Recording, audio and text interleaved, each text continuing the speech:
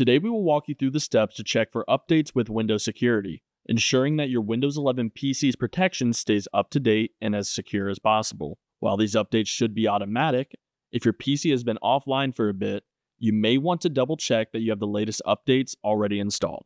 It's important to note that if you have another antivirus program installed and active, such as ESET, McAfee, or Norton, you won't be able to use the Windows Defender.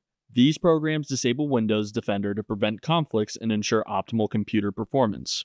Here's how to check for those updates.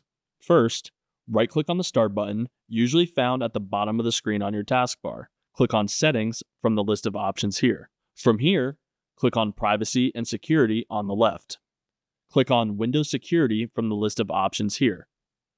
Under Protection Areas, click on Virus and Threat Protection. Under Virus and Threat Protection Updates, click on Protection Updates. Under Security Intelligence, click on Check for Updates. After a short check, the program will let you know if updates have been applied automatically or if you are already up to date. And that's all there is to it. Thanks for watching, and make sure to subscribe for more helpful tips from Micro Center, the best computer store in the world.